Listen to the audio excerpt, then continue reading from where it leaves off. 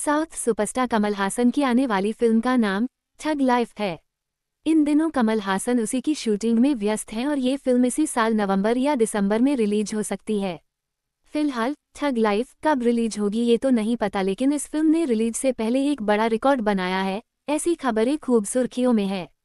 जी हाँ कमल हासन की आने वाली फ़िल्म ठग लाइफ के डिजिटल राइट्स की कीमत बहुत ज़्यादा है, जिसे अब तक का सबसे बड़ा रिकॉर्ड माना जा रहा है।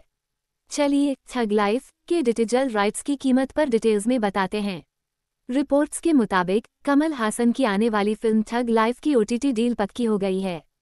फ़िल्म की ओटीटी राइट्स एक करोड़ में बिके हैं और ये रिकॉर्ड ब्रेकिंग डील है जब किसी तमिल फ़िल्म की ओटीटी राइट्स के लिए इतनी बड़ी डील लॉक हुई है।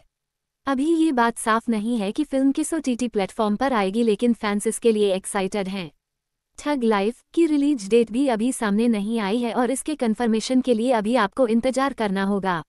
मनी रत्नम के निर्देशन में बन रही फ़िल्म ठग लाइफ को Rajkamal films international red giant movies और मद्रास टॉकीज बैनर तले बनाया जा रहा है। फ़िल्म में आर रहमान का म्यूज़िक होगा और लीड एक्टर कमल हासन है।